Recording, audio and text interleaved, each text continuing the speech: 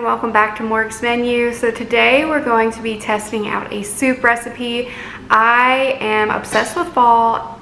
I want all of the fall flavored things. I want all of the fall recipes. I want all of the fall clothing. As you can see, I just love fall. I used to think summer was my favorite season, but I've determined, nope, it's fall. I love all things basic fall. So today we're going to be trying out a chicken noodle soup recipe, but it has some other ingredients in it that just make it, you know, just bring it up a notch and just make it a little special. So I'm really excited to try it, and if you're interested in seeing how all that goes down, keep watching.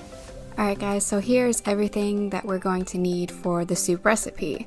So we of course have the chicken stock and egg noodles and cooked chicken as well as a ranch packet of seasoning, salt and pepper, cheddar cheese condensed soup, some broccoli, onion, sharp cheddar, shredded cheese, bacon, carrot chips, and some milk.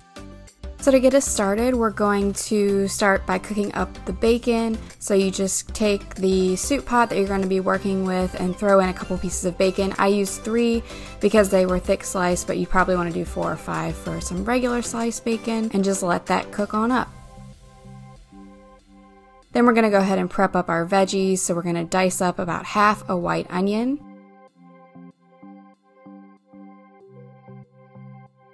And then go ahead and cut up our broccoli. I have a small head of broccoli here, and you're basically just gonna cut it into small little bite-sized pieces by cutting off some of the stem. And then we're gonna go ahead and dice up our carrots. These are carrot chips that we just already had because we use them for snacking a lot, but you could of course just use a regular carrot and dice it up. As long as it's in small pieces, that's all you need. Once your bacon is done cooking, you can go ahead and remove it from the pot and just kind of set it on the side to strain out some of the extra grease. And then using the bacon fat that was cooked off the bacon, we're going to cook up our veggies. So we'll first throw in our onion and let that cook for about three to four minutes. And then throw in our carrots and broccoli and cooked chicken.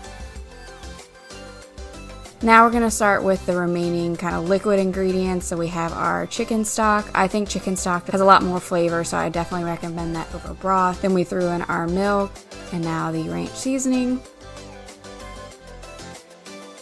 And the condensed cheddar cheese soup.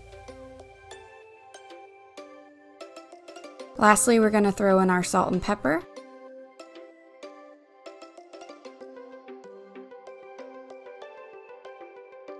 And then just stir everything so everything gets nice and combined. Then you're to let that simmer for a couple minutes and throw in your bacon that I just chopped up into little small pieces.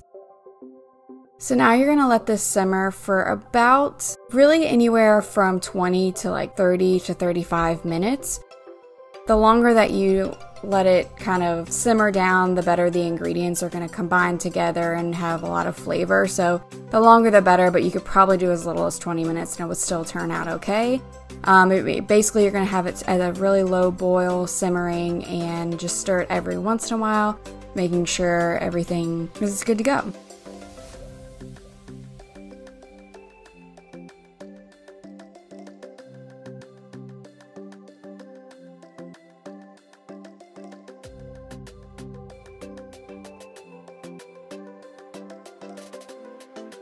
And I missed filming this part, but with about five minutes left, go ahead and throw in your egg noodles so that they will soften up. If you're using any different kind of noodle, you might want to increase this cooking time. And then you're just going to get everything stirred in.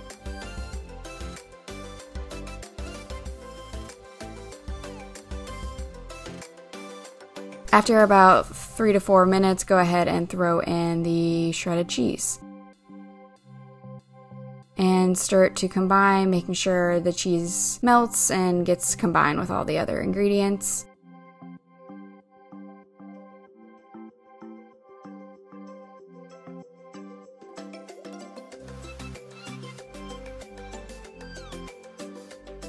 The ingredients ended up making about three big servings. Of this soup. So it was good for two people plus some leftovers. It was about 550 calories, so really not too bad because um, this was all we really needed to fill us up for dinner.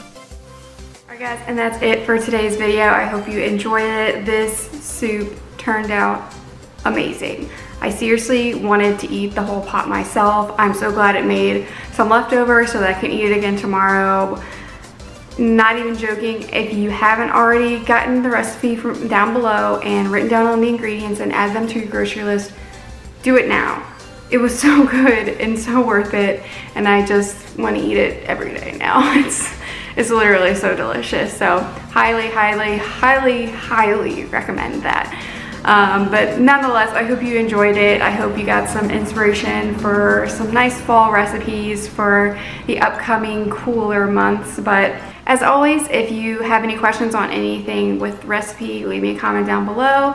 If you haven't yet subscribed, make sure you subscribe so you don't miss out on any of my new videos and ring that notification bell so you're notified when I upload on Wednesdays and Sundays.